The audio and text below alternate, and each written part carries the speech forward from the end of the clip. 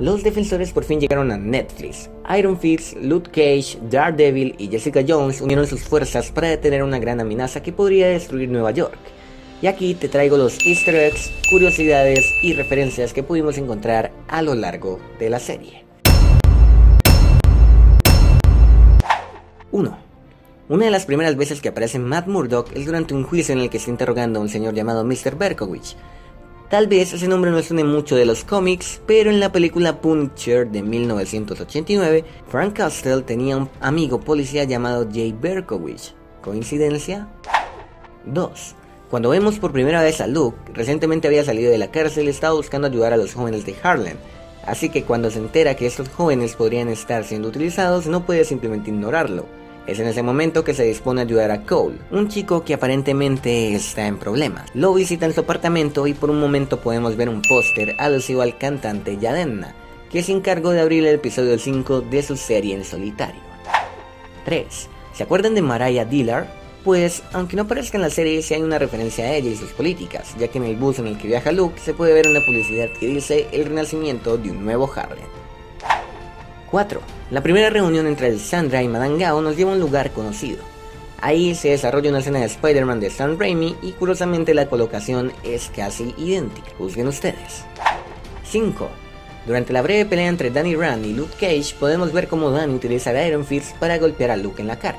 Esta escena se asemeja a una que aparece en la serie en solitario de Luke Cage, en la que uno de los secuaces de Cottonmouth intenta darle un golpe en la cara, aunque para su mala suerte no tenía los poderes del Fix. 6. En la serie podemos ver cómo Electra lleva un traje muy parecido al que utiliza en los cómics, sin duda un guiño bastante claro a la historia de su personaje. 7. Durante la escena de persecución entre Matt Murdock y Jessica Jones podemos ver un breve cameo de Stanley, aunque no aparece en persona si lo podemos ver en un póster. 8. Cuando Danny Rand decide enfrentarse a la mano utilizando el Rand Enterprise, podemos dar un vistazo a los contactos en su teléfono, en donde podemos ver a los hermanos Mitchum, a la abogada Howard, algunos socios de la empresa y una tal Mónica Delgado, que curiosamente es el nombre de una de las asistentes de producción de la primera temporada de Luke Cage. 9. En el episodio 5, cuando Matt va en busca de Karen, podemos dar un pequeño vistazo a su oficina, en donde vemos dos cuadros. Uno hace referencia a la batalla de Nueva York y el otro a los incidentes ocurridos en Harlem. 10. Al final del episodio 7, después de que Danny es obligado a abrir la puerta, porque al parecer es un grandísimo imbécil, podemos ver cómo despierta rodeado por el esqueleto de un dragón, que curiosamente tiene la misma forma que el tatuaje que Danny lleva en el pecho. 11. La canción que escuchamos durante la batalla final se llama Protect Janek, la cual en su letra hace una pequeña mención a Spider-Man, que es otro superhéroe que se encuentra en la ciudad de Nueva York. 12. Al final de la serie podemos ver cómo Misty queda sin un brazo, un guiño a los cómics en donde el personaje utiliza un brazo mecánico proporcionado por Tony Stark. Todo apunta a que Danny será el encargado de darle un nuevo brazo en el universo Marvel Netflix.